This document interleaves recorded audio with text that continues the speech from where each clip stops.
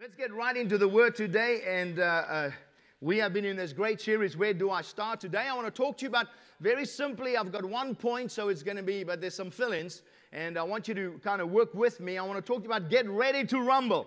And uh, as we start our series, and, and we've started, and last week we talked about the fact that it all starts in the wrong way with a lie and lies we believe and lies we tell ourselves. And instead of embracing and searching for the truth, we buy the lie and we find ourselves in a continued cycle of, uh, uh, uh, uh of dysfunctional thinking and behavior.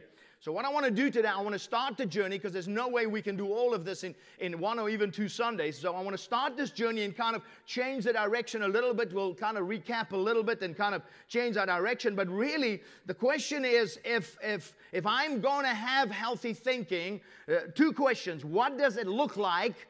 And what can I expect? How many of you know that it's easy to decide to make a change? It's another thing to act, actually guide yourself through the process of change.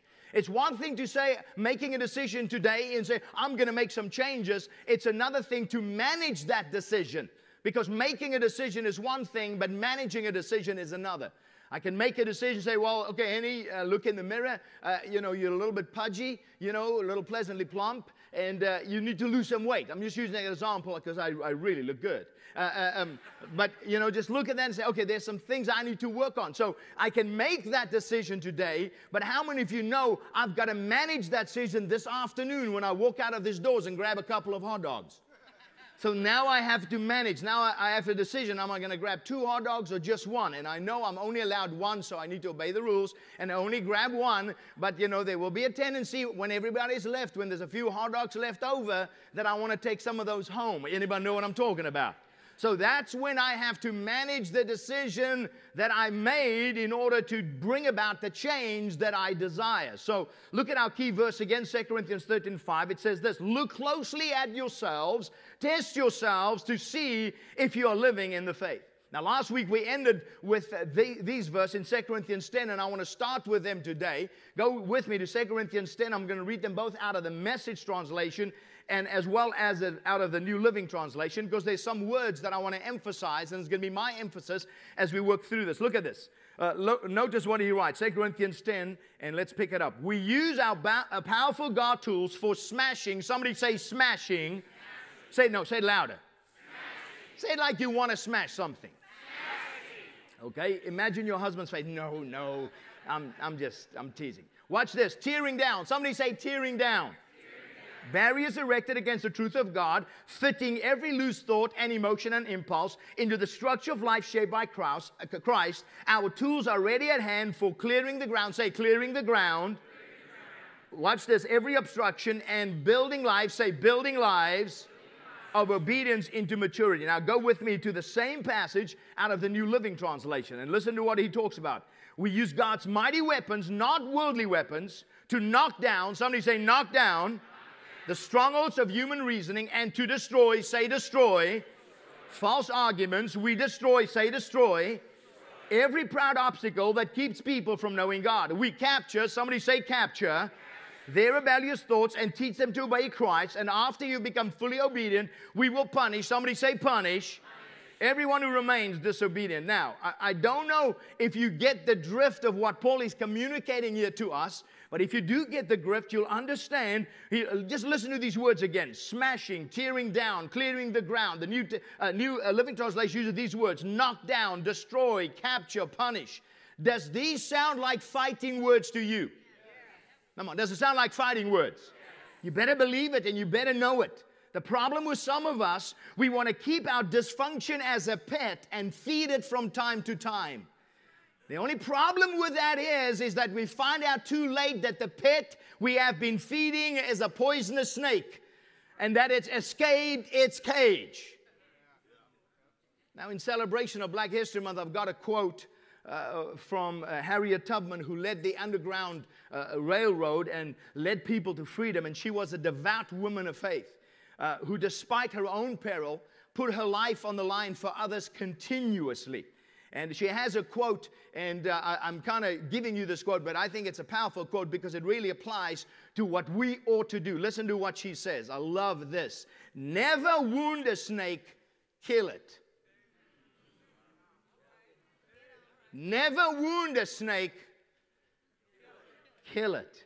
Now, I know she had a little bit more to it than what I'm talking about, but there, there's, a, there's a reality in this. Let me just tell you a story uh, about a guy that had a pet python, and um, he had this pet python that, that you know, got it very small, and, and what he would do with it, he would take it out of its cage and he would feed it, and, and he had it for, for a long, long time. And this python kept on growing, and eventually it outgrew the cage that he had. And uh, so, and, and uh, um, what he would do is he'd have the pet python there on his couch, and he would lie there on his couch, and the pet python would be there lying next to him, and, and uh, he, ha- he had him for, for you know a long, long time. And the python kept on growing, growing, and then uh, um, after a while, he saw that the python started adapting some really strange behavior. As he was lying on the couch, the python would come lie on the couch, and the python would stretch himself out next to him and it just kind of stretched himself out. And, and uh, he was noticing this behavior, and he was wondering, you know, what's going on. And, uh, you know, he didn't think much of it, but this, this kind of behavior from the python kept on happening again and again and again. So uh, he, after a while, he thought, man, I got to find out. So he had a friend that was a, a herpetologist, and he called him on the phone and he said, Hey, listen, I just want to, you know, uh, I just want to run some things by you here real quick. And he talked a little bit about some things. And then he said, You know, uh, my pet python. He said, Yes, your pet python. He's probably large one. I says, Yeah. He says, You know, he's got very strange behavior right now. I said, Well, what is he doing? He says, Well, he's kind of cuddling with me. He says, What do you mean he's cuddling with you? He says, Well, I mean, whenever I, you know, whenever I lie on the couch, he would come and he lies next to me and then he kind of stretches himself out. And uh, the herpetologist on the other line literally screamed, say, hey! And he's like, what do you mean, hey? He said, he's not cuddling with you, he's measuring you for a meal. True story. He's not cuddling with you, he's measuring you for a meal. You see, when we keep on allowing the dysfunctions in our lives and we keep on feeding it, eventually they will consume us. Please understand this today. You have got to get this. If you don't listen to anything else I'm saying, listen to this. We will have to fight because we are in the fight for our lives. Our battle is not against people, but against strongholds, warped human reasoning, lies, and false arguments, pridefully built obstacles against the knowledge of God, as well as rebellious thoughts and willful disobedience. Now, all these things are constructed within human minds, including our own. They're inspired by thoughts that are contrary to the truth. We live in a culture conducive to everything goes, and your truth is not my truth. Nevertheless, we cannot allow this to be the way we think, feel, and the way we live. So we have to contend first and foremost within ourselves that we are building our lives upon the truth of God's word and not allow our minds to be shaped or squeezed into the mold or culture of what we live in. L- listen to Romans 12, verse 2 out of the J.B. Phillips translation. He says this Don't let the world around you do what? Come on, say it loud. Squeeze you into its mold. But let God remold your minds from within so that you may prove in practice that the plan for God for you is good, meets all the demands, and moves toward the goal of true maturity. Now, we know that we're in a war. We've got to recognize, first and foremost, if you're going to make some changes in your life, it is going to have to take everything you've got. It's going to be a fight. You're going to have to fight through it because there's, there's a tendency for us to start and not finish. There's a tendency for us for wanting to end something and change something, but then eventually we go back to and revert back to previous behavior and previous dysfunctions. The second thing I want you to understand, write this in your notes. You realize that you know, war, a number, whatever number, the battlefield is the mind. The battlefield, the place of your battle is the mind. Again and again and again. I want to I want to read this to you uh, as we approach this topic today out of 1 Peter 4 verse 1. Listen to what Peter says. Uh, listen to the words. The words are important. Therefore, since Christ suffered for us in the flesh, now listen to the language. Arm yourselves. Somebody say, arm myself. What must I arm myself? Arm yourselves also with the same what? Mind. For he who has suffered in the flesh has ceased from sin, that he no longer should live the rest of his time in the flesh for the lust of men, but for the will of God. Now, why would Peter write and tell us to arm ourselves if we don't need to fight? What is the purpose of arms? It is to defend ourselves against a potential enemy. Now, notice he says we arm ourselves by thinking the same way Jesus did. And by thinking the same way Jesus did about what? Listen to the language about suffering. Oh, I can feel you already. I mean, I just feel you already. You say, Come on, any suffering. Not any kind of suffering. I'm not talking about your backache kind of suffering here. You have backache, I'm suffering for Jesus. I'm not talking about that. Are you with me? The suffering that he's referring to is the way that Jesus suffered because he suffered and died for our sin. So, what he is saying, he wants us to understand that we have to arm our minds, we have to allow our minds to know that there's a battle that we are going to have against the sinful nature within us. Yes, Jesus has overcome, and because he's overcome, we know that we can win the battle. We can win it as well. But the suffering is the suffering against that fight against the flesh that you are always going to have in your life. Why? So that you can end up doing the will of God. Is anybody in this room wanting to do the will of God? If you want to do the will of God, it's not just going to fall on you. It doesn't happen by osmosis. It doesn't happen by somebody laying their hands on you and praying over you. And now suddenly you're going to do the will of God. You're going to have to contend for it. You're going to have to fight for it. You're going to have to dream about it. You're going to have to search for it. You're going to have to reach for it beyond where you are at. Now, how do I know this? Because there's a word that's important that he uses in 1 Peter 4, the first verse. He said the word therefore. And when you when you look at the word therefore, it's always therefore for a reason. What is it therefore? Go back to the previous verse. Notice what he says in verse 22 of, of 1 Peter 3. He says this Now Christ has gone to heaven. He is seated in the place of honor next to God, and all the angels and authorities and powers accept his authority if you want to live God's kingdom culture, you are going to have to be willing to suffer the loss of some things in your life. You will have to be willing to let the Holy Spirit control your thinking and not your own lustful desires. There is without a doubt a suffering to do what is right. Now, I mean, let's just talk about this. Doing wrong is easy because it comes with zero effort. Am I talking to anybody in this room? How many of you are like me? I mean, doing wrong is easy for me. Don't be so excited about that. I'm just I'm just letting you in on. But doing right, when I have to make a choice between doing that which is right and doing that, you know, which is not right, the, the not right one always looks like the easiest path because it's the path of least resistance.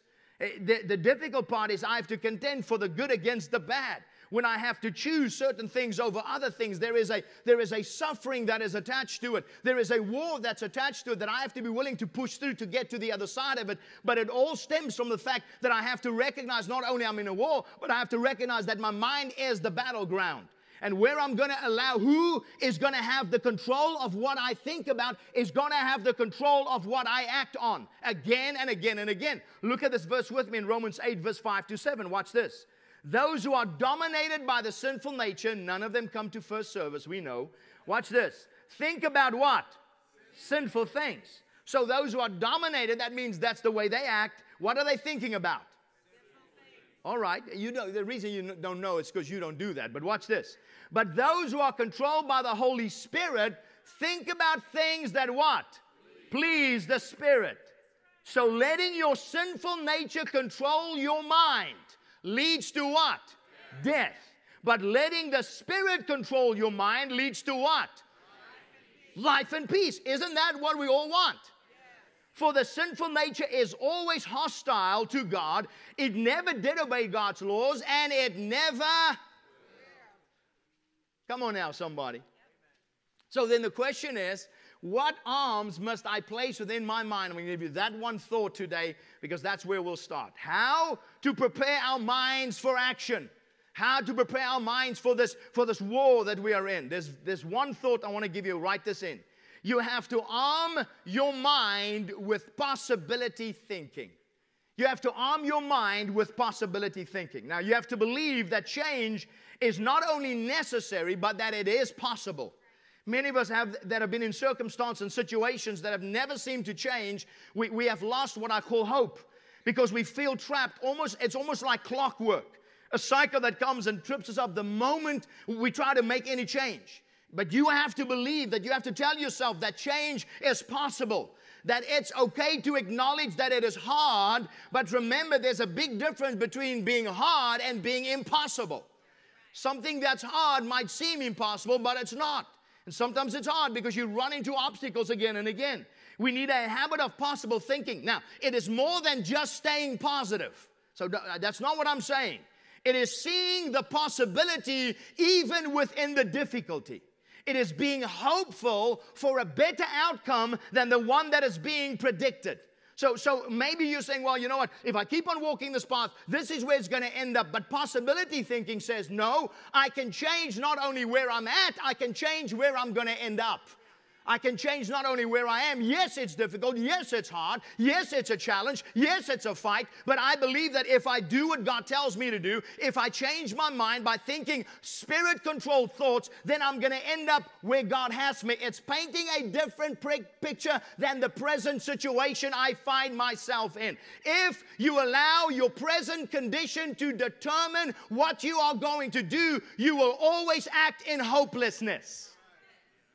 You cannot let your present circumstance predict your future. Jesus said, All things are possible to him who believes. Peter says that possibility thinking allows us to be prepared for victory. Possibility does not just say, be positive, be positive, be positive, be positive, be positive. I can be, I can be, I can, be, I can be positive. How many of you know, how many have tried that? Does it work? No. Yeah, I mean, maybe for a moment. Possibility sees, here's what it sees it sees the way out, it seizes the opportunity to engage our faith on a higher level. Now, it is not the ignoring of the facts, it's the acknowledgement of the greatness of God. If all things are possible to Him, then I can allow my mind to think that which is possible for me.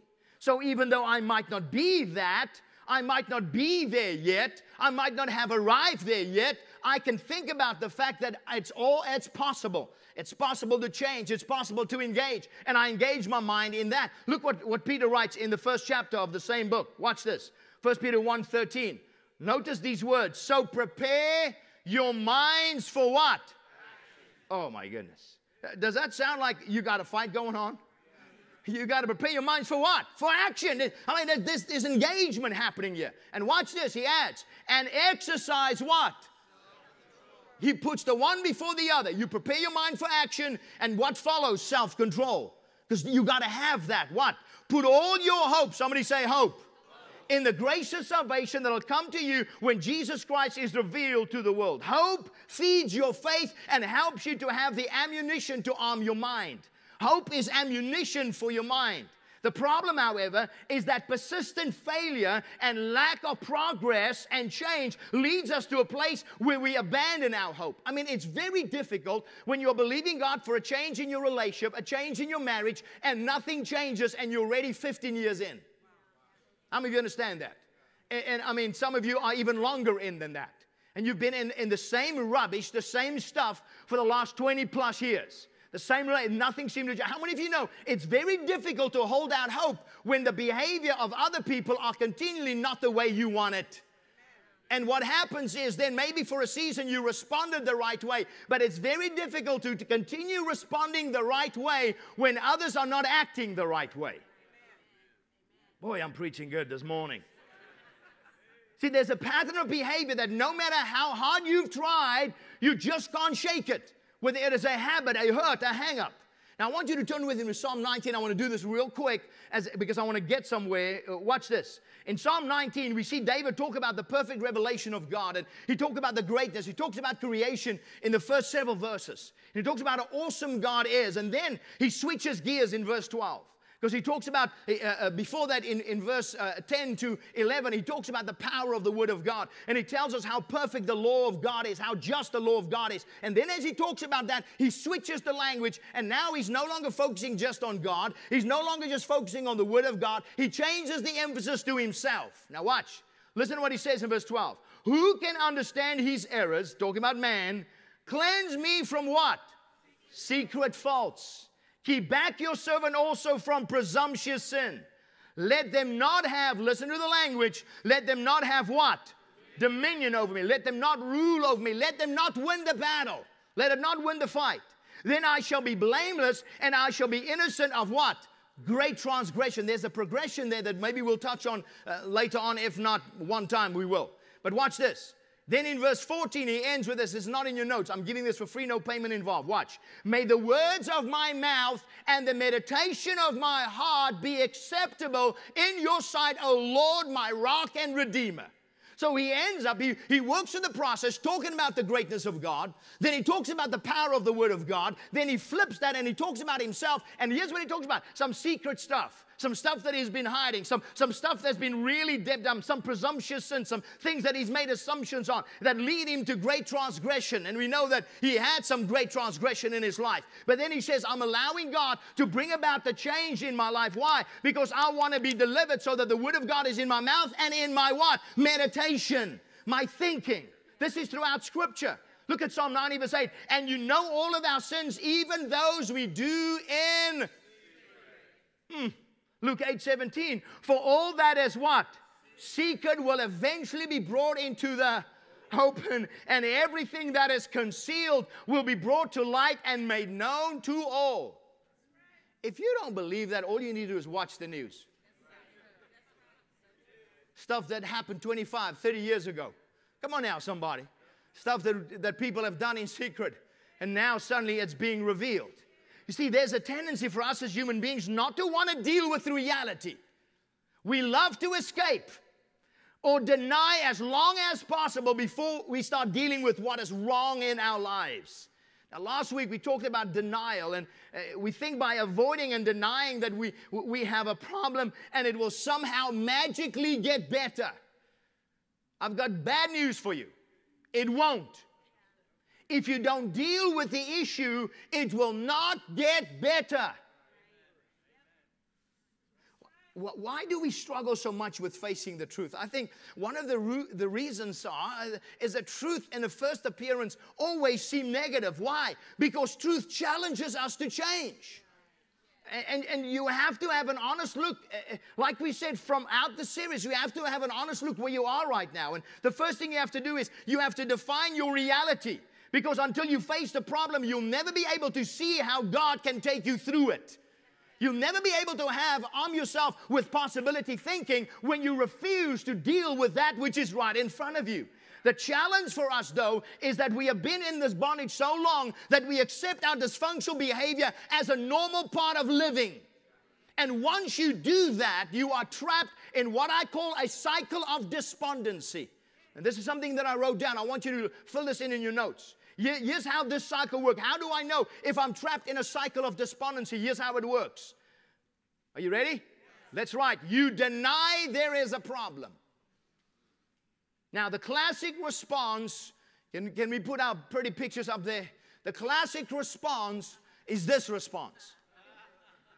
All right? You see that response?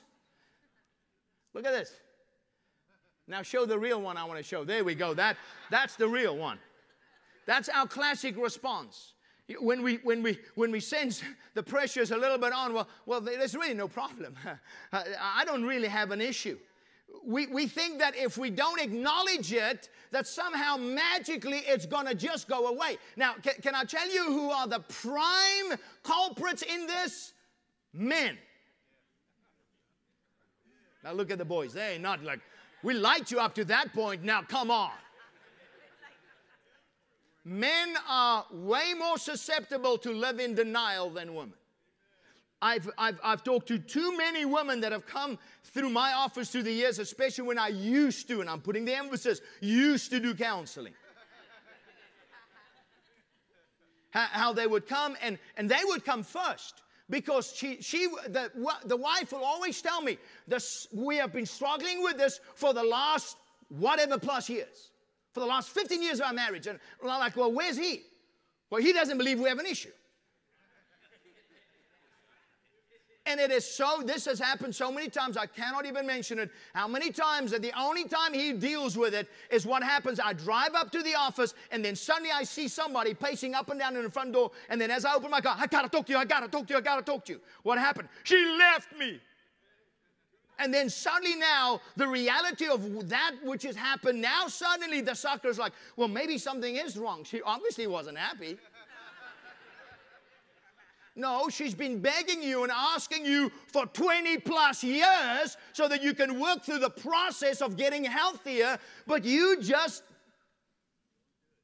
I got no problems.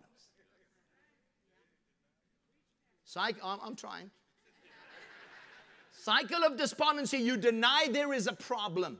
Now, by the way, just, just for truth's sake, you know, ostriches do not put their, their heads in the sand to hide from predators like, you know, th- that's just a fallacy. They, and they don't really put their heads in the sand. They do furrow a little bit, and so it looks like, because it's desert sand, uh, an ostrich cannot leave uh, his or her head under the sand. They'll, they won't be able to breathe. They'll die, just so that you know.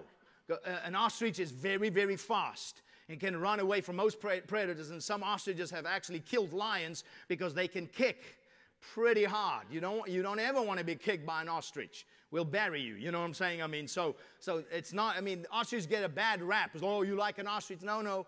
It looks like it. It appears like it. The ones who do hide is us, human beings. Okay, so you deny there's a problem. Here's another one. Are you ready for this? You refuse help from others. You refuse help from others. There are people that you know that you can talk to who can help you or, or some resources that's available to you, but you refuse help. Uh, uh, uh, this, this is one of the, the, the things that blow my mind that we create avenues where people can get help. We have an incredible, let me just talk about marriage here for a moment. We have an incredible XO conference coming up. It is an incredible opportunity, whether your marriage is good, great, average, or, or you know, bad. It's a great opportunity to come and learn. And then be like, should I, should I not? And then should I? I mean, come on now. You, know, let me tell you something 59 bucks for two people, and you get fed. Hello, something's wrong with that picture when you drop at least 200 plus bucks on a Lakers ticket, but you won't invest $59 in your relationship with your spouse. Because here's what you're going to have to drop later on. You're going to have to pay 150 to 250 bucks an hour for a counselor to try to rescue what you've damaged all because you do not make, there are things available to you to get you some help. We have incredible small groups that are starting this week. We have an incredible marriage ministry on Friday nights. There, there's a vibe, there's, it's a life. If you're a man you got something, we got incredible men's ministry that meet every single week. We, we've got an incredible class, our I Cherish class that we just had this last week that is coming every single month that you can go to, that you can invest, not just because you have problems, but you can invest and you can kind of build some, some, some relational equity within that in order to make a difference. How do you know you're in a cycle of despondency when you refuse help from others? Are you okay out there? Is this too much on Super Bowl Sunday? Should we, should we just celebrate? Hey, listen, most of our teams are not in, so we might as well deal with reality. Except for the Rams. Oh, we, there's Ron. Ron, you came to church. That's awesome.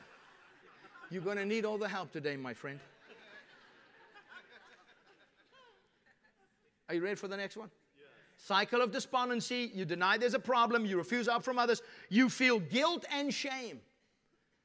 You feel guilt and shame. And, and I'm not talking about a momentary, it's a continual feeling of guilt and shame.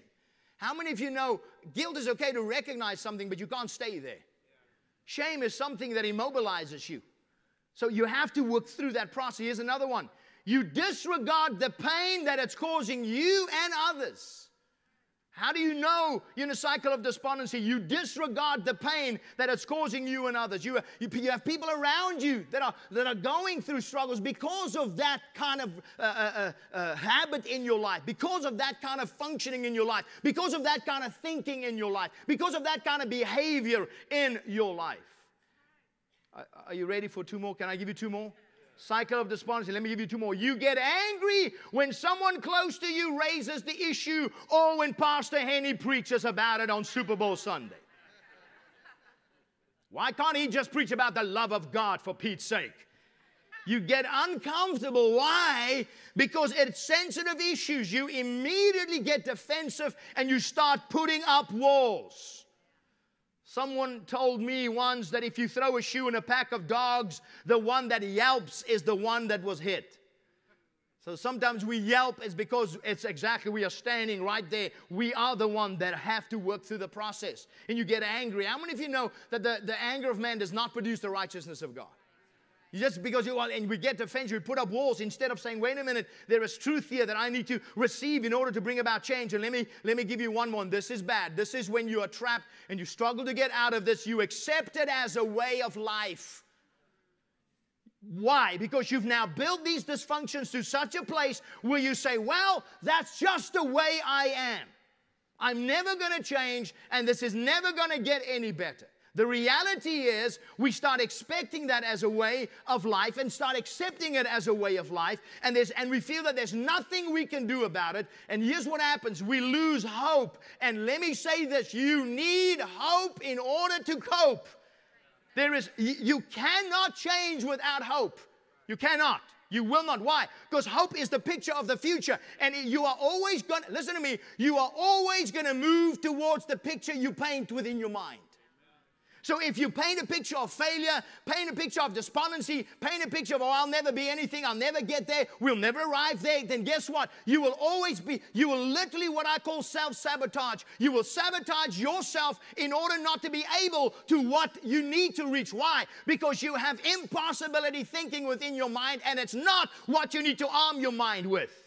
And you cannot move beyond that. And this is the cycle that keeps on repeating itself. Now, there are glimmers of hope here, glimmers of hope there. Maybe you hear a sermon here, maybe you go to a seminar there, and there's glimmers of hope, but you refuse to understand that this is a battle that you're going to have to fight. This is progress you're going to have to make. And sometimes not even on a daily basis, sometimes on an hour by hour basis. Because you're trying to move towards that which you desire for your future. And this you can apply. Let me tell you something. I'm giving you some stuff you pay $2,000 for right now. If you can just apply this in your life, this is God's word to help us get us to where we need to be. I don't care where you find yourself today. I don't care what circumstance you're in. I don't care how bad things are today. If you would make a decision and believe that God can bring about the change and allow your mind to be transformed by the word and the will of God and start to paint a hopeful picture, I don't care what you've done. I don't care what you slept. I don't care what you snorted. I don't care what you smoked. I don't, I don't care what you smelled. I don't care how you smell. I don't care who you slept with. I don't care what you did and what you didn't do. But if you would decide today that I am going to arm my mind. I'm going to start doing things God's way, and I'm going to think that it is possible to change. Yes, it might not be a moment, it might not be a week, it might not be a month, but I am going to change by the grace and the mercy of God. I'm going to be able to do it. Why? Because He is the one who enables me to do it. Don't accept it as a way of life. What do you want from God? What do you want Him to do for you? Now, if you see several of these things in your life, specifically related to an area of dysfunction, you are trapped in the cycle of despondency and you, you cannot begin to move forward until you first have established where you are and where you need to go, locating yourself. Now, you have to prepare your mind with the fact that it's possible to change. Because why? Because your hope is not in a system. Your hope is not in a process. Your hope is not in a formula or even in a plan. Your hope is in a person, and that person is Jesus who sits at the right hand of God the Father. That's what Peter writes when he says, Therefore, arm your minds. The very verse before, he says, Because even the angels accept his authority because he's sitting at the right hand of God the Father. So, because of where he sits, because of where he is, I can allow my mind to be armed with the thinking that yes, I can change. Not only can, yes, I will. And I will work through the process of becoming the woman, of becoming the man, not me becoming a woman, of becoming the man, of becoming the woman that God wants me to be. Work with me, somebody. Are, are, you, are you getting it? Now, go with me real quick. In Mark 10 51, there's a blind man by the name of Bartimaeus, and this will help us illustrate this. He was sitting by the wayside and he, he, was, he was begging. And he heard that Jesus was coming along. And you know the story, or maybe if you don't, you can read it this afternoon. And he begins to cry out, Jesus, son of David, have mercy on me. And, and at first they say, dude, you need to shut up, be, be quiet. They're trying to quiet him down, but he knows and he begins to cry out even louder. So here's what Jesus does. He walks over and, and he stands and he, cry, and, he, and he calls out to him. And listen to what Jesus, Jesus asked him a question. Watch this in Mark 10 51. Jesus asked, What do you want me to do for you? Now let's say that. Say, What, what? do you want me, you want me to do for you? Now stop there and think about this for just one moment. Everybody knows that this sucker is blind. The Bible tells us that he is blind.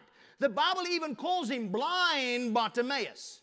The Bible says that he had a cloak that he wore, which was his, he's basically in those days his social security of the day. That means he, by him wearing that cloak, it made sure that at the end of the day, at the end of his begging, he was allowed to beg in the, within the Jewish system, he was allowed to beg because he had this cloak. This cloak gave him the validity to beg, but not only that, it assured him at the end of the day, if he did not have enough, that he would receive a square meal for that day. And not only that, it was his livelihood. His cloak was a license for him to beg. So everybody knew that he was blind. Jesus knew that he was blind, but Jesus wanted to hear from Bartimaeus. He wanted Bartimaeus to tell him what he really wanted. Oh, tell me what you want, what you really, really want. What do you want? now, Bartimaeus could have said, well, you know what? This standing up and sitting down, my legs are really sore. I stubbed my toe. You know I can't see, and I've got this big old swelling in my toe. Would you heal my big toe? I guarantee you, Jesus would have met Bartimaeus right there with his big toe and healed his big toe. But Bartimaeus wanted more than that. And he said, Lord, that I might see. And Jesus said, according to your faith, let it be unto you. Why? Because Jesus will respond to the area or place that we are willing to be vulnerable in. And it's the same with us. In your notes, fill this in. Jesus will respond to the place of our vulnerability and the level of our expectancy. The areas that you are not vulnerable in, God cannot help you. And if God can't help you, nobody else can either. The blind man answered, Master, I want to see. You see, somehow we have allowed the enemy of our faith to lie to us to say that you, you can't really admit a weakness, you can't really admit a, a, a problem. And I think, and here's why.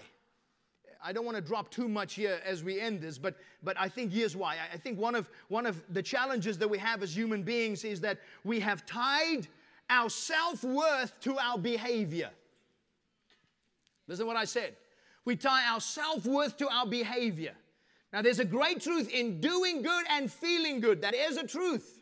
But somehow we have ourselves convinced that if I fess up to a wrong, it makes me worth less.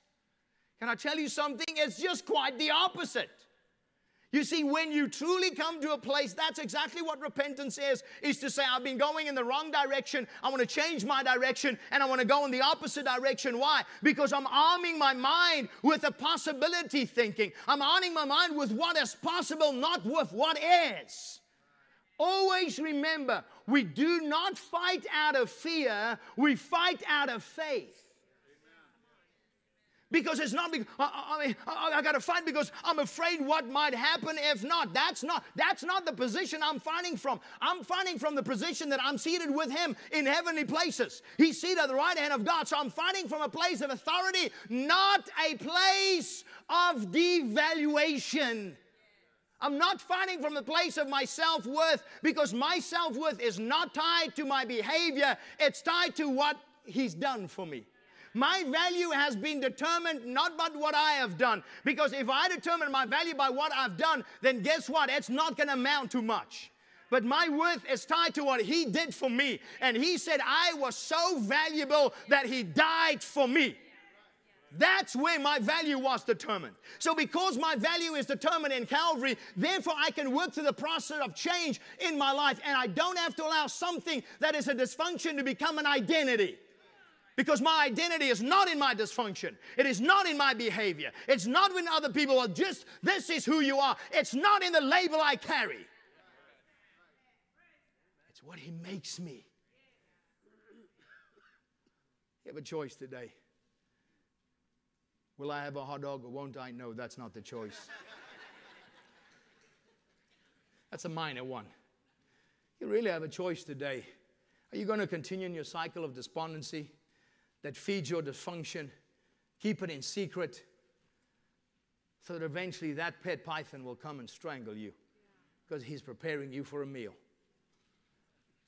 Or are you going to expose that stuff and bring it to the light and get the help you need and get healed? Let me close with this verse. We read it earlier, Romans 8 6, about our minds. Watch this. So letting your sinful nature control your mind leads to what? Is that what we want? No, of course not. But letting the Spirit, somebody say, letting the Spirit. Do you notice that your will is involved in that? Let Him means to allow.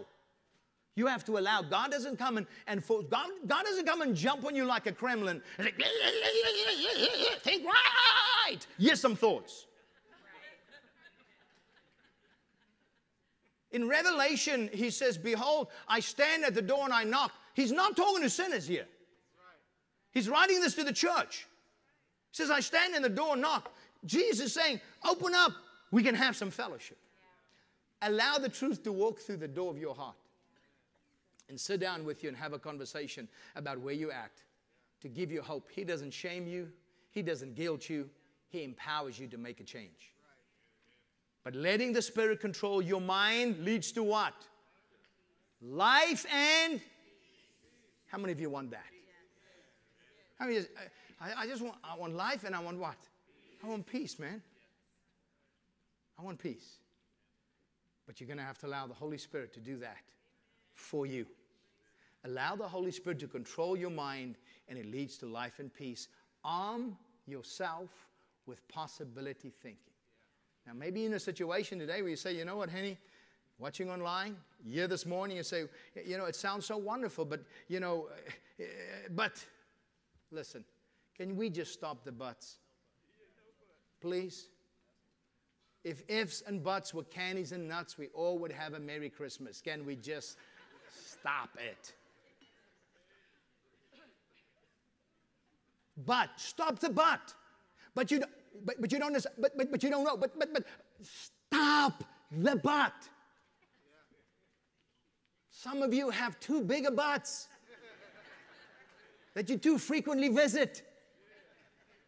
You need to stop that.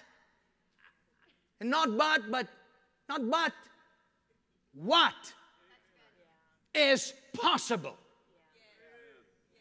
Not but you don't know what is possible when I engage on the level of thinking about a future that I want, not death.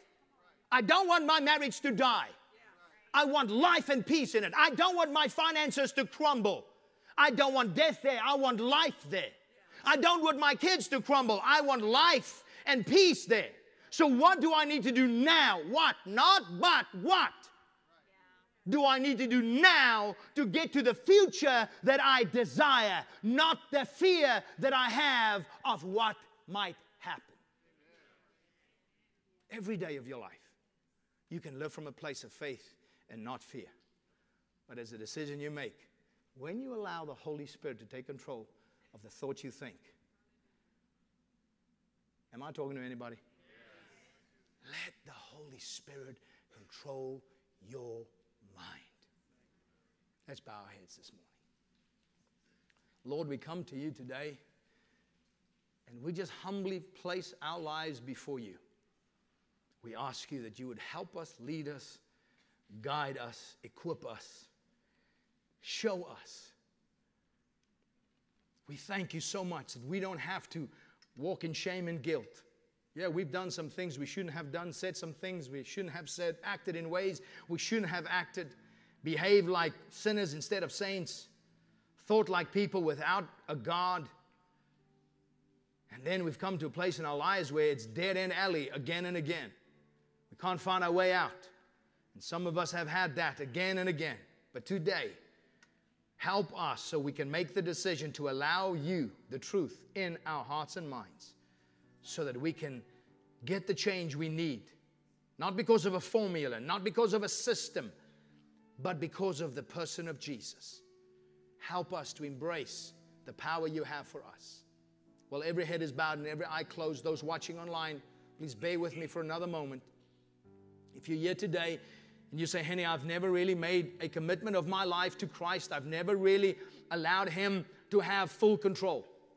I'm not talking about, you know, praying some prayer or, you know, uh, and just, you know, kind of feeling, well, I think I'm okay. I'm talking about you know without a shadow of a doubt, if you walk out of this building and something were to happen to you, that you would open up your eyes in heaven, that you would be before the one you love and the one you serve. An absolute surety and security of His love and His grace for you. You know that you are born again. You don't think, you don't hope to make it, you know. If you do not have that kind of security in your life and in your heart, then today you can have it. The Bible says, For as many as received him, to th- them he gave the right to be called sons and daughters of God. So if that's you and you'd like me to pray with you today, would you just pop your hand up and let me see it and I'll pray for you? Thank you, thank you, thank you, thank you, thank you, thank you, thank you, thank you, thank you, thank you, thank you, thank you, thank you, thank you. I see that. God bless you. Thank you. Thank you. I see that back there. Thank you. You can put it down. Thank you. Thank you. I see that. God bless you. Thank you. I see that. God bless you. Thank you. Now, I want to lead you in a prayer. If you're watching online and you'd like to pray with us, would you pray this with us? Let's just pray this out loud. I'm going to ask everybody to pray together. Say this Say, Lord Jesus, thank you for your love, your mercy, and your grace. Today, I receive you as the Lord of my life. From this day forward, you are in control. Thank you for dying for me on the cross, shedding your blood so that I can be forgiven. Forgive me. Give me that future, that hope that you have for me. I am yours and you are mine. In Jesus' name I pray. Amen and amen. If you believe that, give the Lord a clap offering that He is worthy of today.